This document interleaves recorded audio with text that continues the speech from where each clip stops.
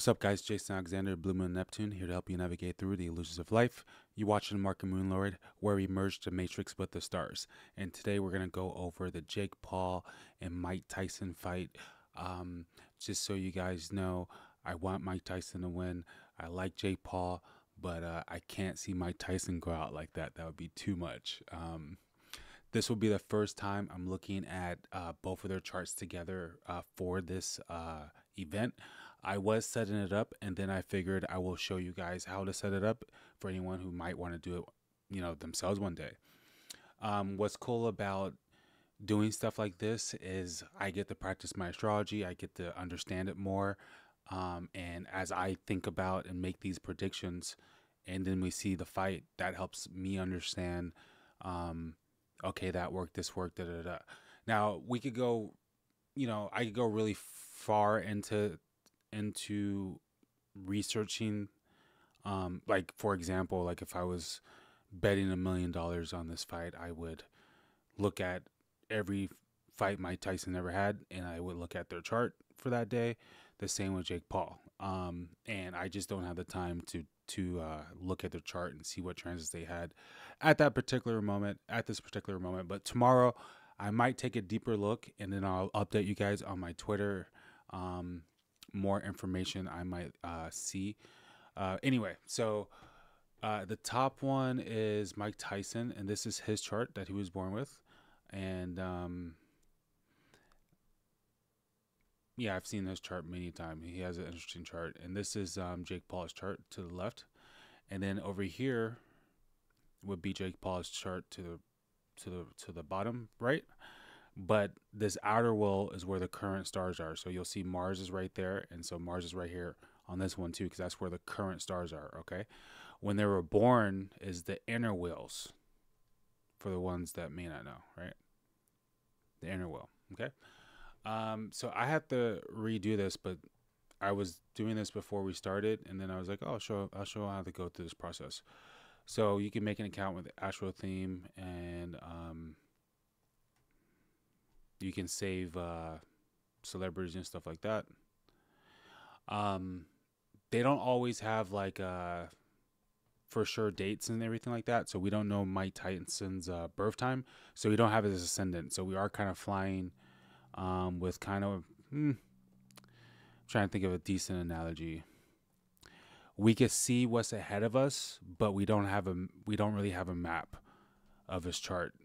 For example, we know that um, the sun is over here and the moon is over there, but we don't really know like um, how everything lines up on the actual radar. Like we're flying without a radar almost, right? But we kind of know like where the planets are because we can see the sun, we can see the moon, right? That, that's like a weird analogy, but it kind of makes sense. But I can understand if it doesn't make sense because astrology is uh, one of those things that don't always make sense, right? Unless you like make it make sense in your mind, right? So, okay. Anyway, so first of all, Mike Tyson is a Cancer, right? That's very, very interesting right off the bat. And then what's also interesting is um, Jake Paul is a Capricorn, okay? So Capricorn and Cancer, ironically, are opposite of each other. That's crazy, okay? So if you look here, the Capricorn sign is here, and the Cancer sign is that guy right there, okay? Um, so think about that, all right? We have two people um, that are naturally opposite um, from the actual stars, right? I, I wanted to fix where is the Mike Tyson fight? Okay, I wanted to make sure I had it in the right. Um,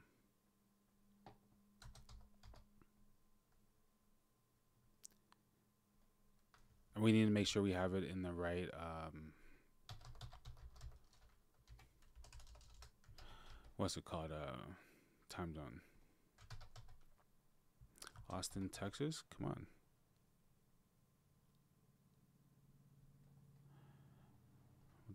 Okay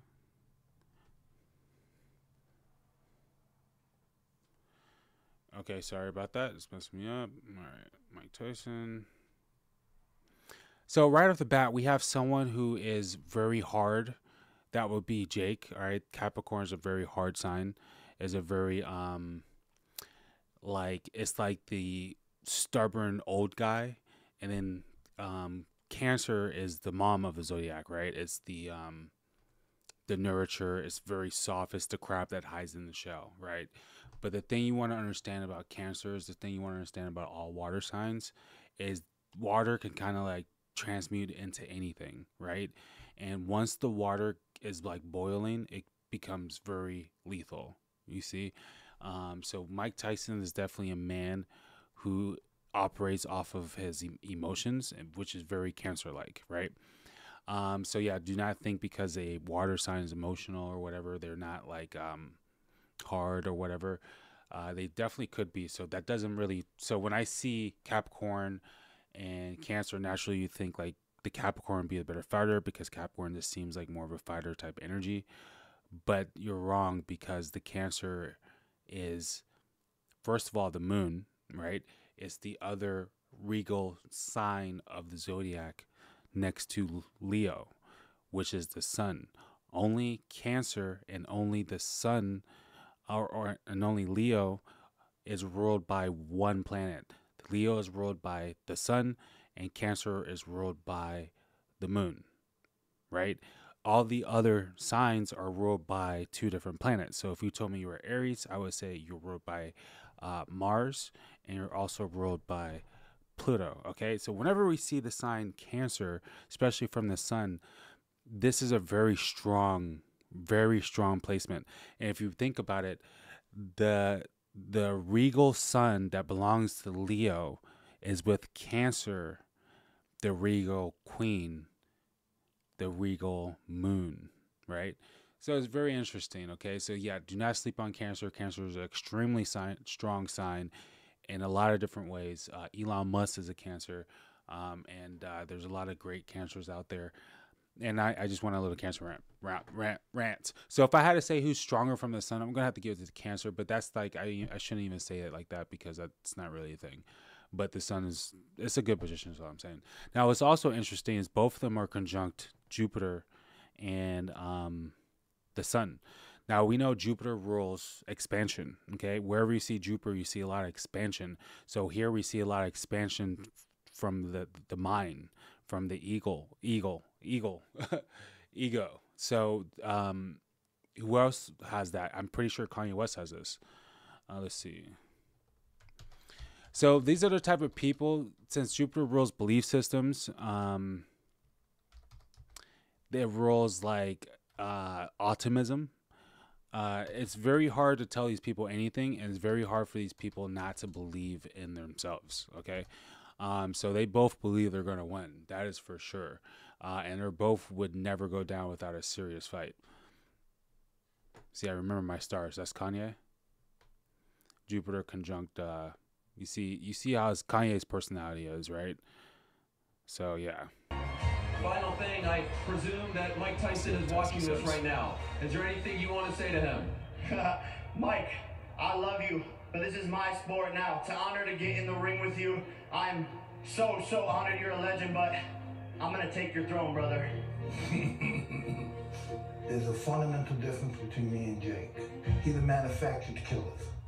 Television and paper made him a killer. He's manufactured. I'm a natural born killer. That's, that's the difference. Yeah, and I tell you what, whenever if you're ever feeling unmotivated, go watch yourself a Mike Tyson motivations um, video, straight up. So yeah, Mike Tyson definitely wants to win. Jake Paul definitely wants to win. Um, so what I'm gonna do? I just realized they're fighting on that full moon. Man, that's oof, man, that's crazy. I really just realized that. That's wild. Damn. Okay, so whenever it's a full moon, we know that the moon is with or is directly opposite of the sun. Okay. So sun's 24 degrees Scorpio, so the moon needs to be 24 degrees Taurus because that's opposite of Scorpio. Okay. Um, I know they're gonna do this again. I'm sorry about. Oh, I don't have to do it again. Oh wait, is that both my times? Hold on. Yeah, they're both saying Mike Tyson now. So what I want to do here, I have to do uh, Jake Paul again.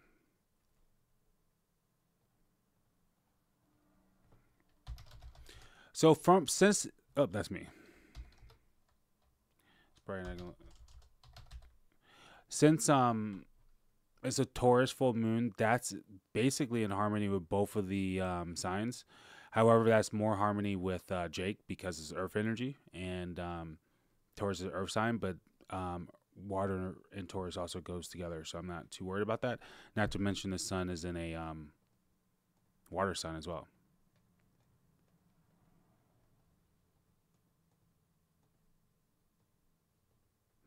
Now that full moon is also conjunct um, Uranus, which is uh, very disrupting. Um, so think about that for the stock market as well, and um, very good energy for a fight.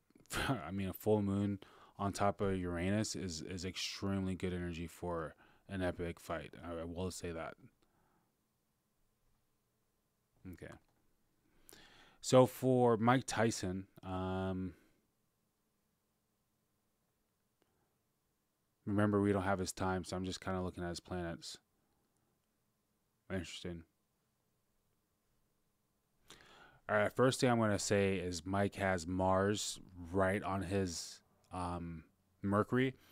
That's good because Mars rules um, information, strategy, how we think and process things. So he's going to be very, very sharp from the mind with Mars at in a very strong position of Leo. Like he's going to be laser focused with that energy, and he's going to have a lot of energy. Period to like like he's going to be focused the entire time. Like the focus, I think I feel like for this fight, Mike Tyson's has probably been very focused on maintaining focus, right? And look at that. Then Mercury's on his on his moon at the same time. That's that's pretty interesting. Um from the sky. So even on a mental place, he he's he's mentally strategizing, making sure he stays calm. Like Mercury is calm and collected.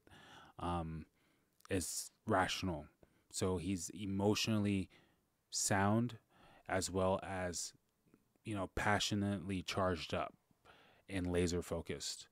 Very interesting.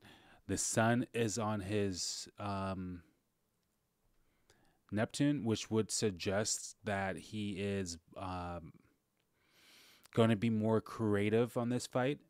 Um, he may, ooh, you know, Mike Tyson can be a little dirty. Uh, this is in Scorpio on, on top of his Neptune. Like this could be, I can see some little bit of like, you know, cheap shots with this one. Hopefully no ear biting.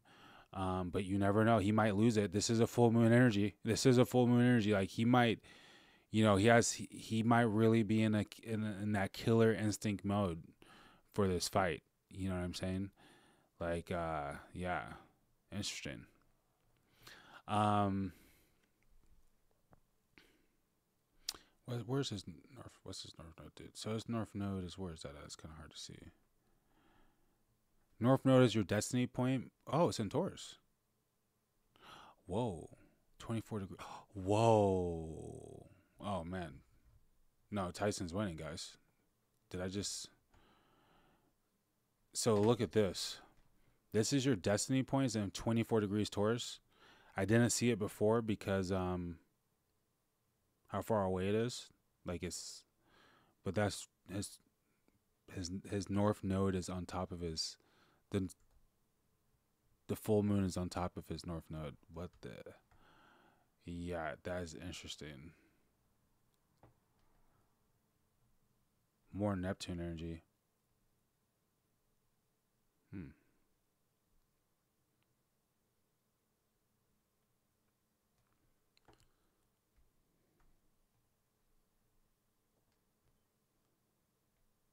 Saturn square the moon.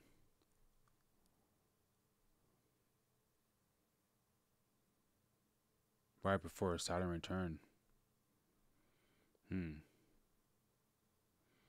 It's telling me a story of a final chapter closing, the the last 28 years closing cuz it takes Saturn about 28 years. He's coming he's coming into a Saturn return. Saturn returns always come with a either a milestone or the opposite because Saturn rules reality and the karma you've built over the 28 year cycle. Um, that can go from 28 to 30 something, 32 ish, depending on retrogrades, which is why often people tend to mature during those ages. Um, but that's a different conversation. But yeah, he's uh, this will definitely be uh, the last uh, the last chapter probably when it comes to his fight, his fighting legacy, and is ending with a serious bang.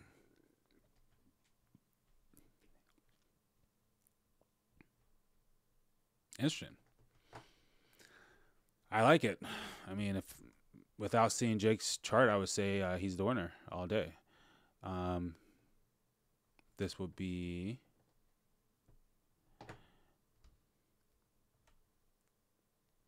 Now we do know Jake's time, and that full moon is on his ascendant. Wow. On top of his moon. What in the world? Jeez. Yeah. Do you guys see that? I mean, we can't make that up, but this is a very much this is a big fight for both of their lives. I feel like this is a big one. I guess this would probably be Jake's biggest fight maybe. Um I would think so. I never really cared about his fights before this one. Um let's see. I mean, I I kind of checked it out here and there, but yeah, he's having a full moon in the first house. If I saw somebody having a full moon in the first house, especially an exalted full moon, full moon, what I mean by that, the moon does best in Taurus is a very strong full moon next to a planet who does worse in Taurus, uh, which is Uranus. So that's interesting. Exalted planet with the um, debilitated planet in the sign of Taurus. Interesting. Full moon in his first house, very disrupting first house energy. Okay, we don't know where that Uranus was in it for um, Tyson. We just know it was on his north node, which is just as destructive. That actually, Mike Tyson's um, having the full moon on top of his with Uranus right on top of his north node. I'm gonna have to give it to him as as the as being like more powerful, especially since it was literally exactly on those degrees where um Jake has a little bit of a uh, two degree conjunction off of that, and then the Uranus has a three degree conjunction off of that, right? Um, but it's still extremely powerful, powerful uh, for Jake. And trying Uranus is actually a very good. Um, trying the Sun is actually very nice for his reputation because Uranus in the first house, and it's uh, making a trine to a sun that's basically on his midheaven, which is very strong for a fighter, extremely strong for a fighter. And Uranus is uh, is also in his mid midheaven, which is I would say extremely strong for a fighter as well. Um, so I feel like he's coming out of this fight very respectable, but I feel like Mike Tyson is as well.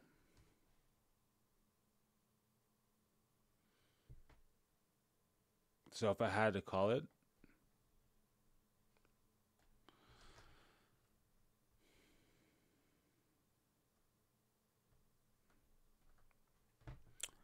Well, I think right now, um,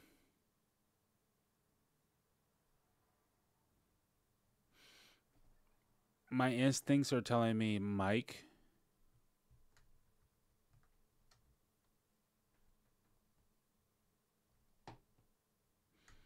And Jake may have. Wow, Jake's coming through Saturn return as well. It's interesting.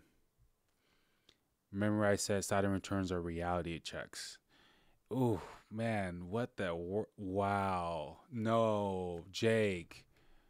No, wow, no. What is going on? Sorry, guys. Next week's gonna be so crazy. Woo. but yeah, this is interesting for Jake. Wow, and he gets the kite? No. Oh, it's not it's kind of off. No, it's Is it the kite? Can you see the kite in that ch- in that chart right there? but it's not. It's not quite a, a kite. Let me see. Jupiter. Fire.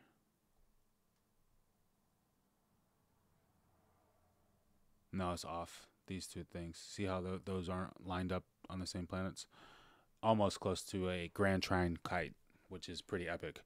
But yeah, this is um even though I mean still this is pretty legit. Um the retrograde and it's he he's coming he's getting a, some type of W from this, this is for sure. The Saturn return is interesting. Like he's definitely stepping into another chapter as well and that Pluto zero degrees on top of his midheaven, zero degrees, like he's coming into some new power or power shift, sudden change.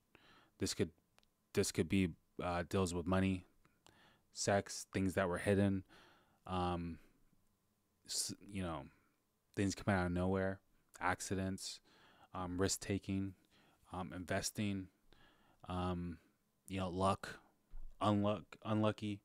Um, that this is lethal energy for Jake, like very strong, especially with um, Uranus in his first house. Um, when I say lethal, I mean like this is a, you know, this is a potent to where a bang can happen, a bang, a bang, right? Like his life is definitely about to change with the Saturn return coming in like this and that full moon being in his first house. Um, yeah. Interesting. And Tyson's it's like the Saturn's in the same spot. They're opposite signs. Um, he's a Cancer. Sun is in a can- favorable favorable sign of Scorpio. Interesting. I wonder if Tyson's going to get in Jake's mind, in his head. Jake's pretty poised though, because he has that moon in Capricorn, and Sun and and uh, or Moon and Taurus, Sun and Capricorn. So that's very two very very very strong placements for someone who's like mentally solid, stable. Okay, I'm gonna have to give this some more thought and update you guys later, maybe on my Twitter um, because this is too crazy to really say. I mean, I feel like Mike Tyson's chart has a lot of protection in it. I mean, a full moon though, on top of that, uh, that North Node. Ooh, man.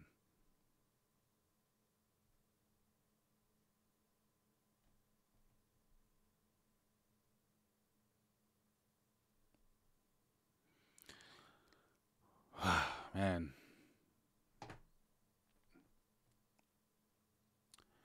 I'm not going to lie. If I had to say whose chart looks probably more powerful for a shift in their life, I'm going to have to give it to Jake because of that. That that Pluto right here on top of his midheaven is undeniable, especially since it's been going, especially since it just went through his Sun and Jupiter.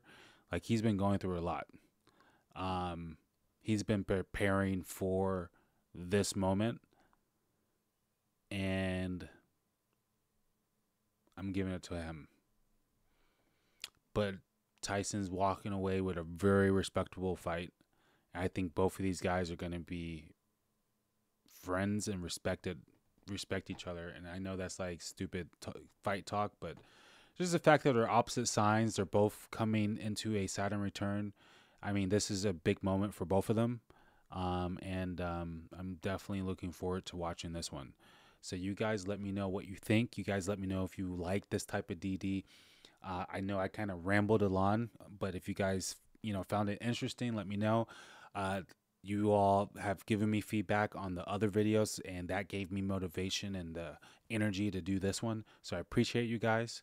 Uh, so until next time, this is Shakespeare Alexander, Blue Moon Neptune, here to help you navigate through the illusion of life. You're watching Market Moon Lord, Warrior Measurement with the Stars. Until next time, one second, one moment. Um, one thing I definitely want to say is we're coming into a full moon, and I've been hyping up this full moon, which it's pretty hype right now. Like I feel like I feel like people feel this full moon coming in, right? Things have been hype, period. So it is what it is. But we've we've seen this story below before. The moon lords that have been around for a while know that we have caught our wins and our losses, right? And the setup is there. Everyone can clearly see see the setup, but the full moons are sudden changes, endings and beginnings, um, climaxes. So I mean, it's it's um, don't you know don't overwork yourself up emotionally. You know, think of me as somebody who just is here for entertainment purposes, um, maybe a little bit of hopium, but it's not like we're going to um, you know, bet our life saving savings best based on the moon phases, right? We need to be like smart about things. Um, and we need to understand the risk.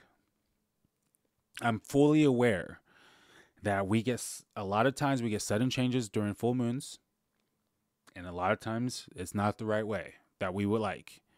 Okay, I have real money on the line, and I I understand that it could really be like cut in half in a blink of a second, if not more. Okay, so I have the understanding. I hope you all do too. Um, you know, I'm very optimistic about this time, but at the end of the day, like this is still the same AMC that we, you know, a lot of us have been in for years, right? So I I understand if nothing happens and we have to continue to work, right? Um, but this week and next week look very promising for multiple reasons. I'll keep you guys updated.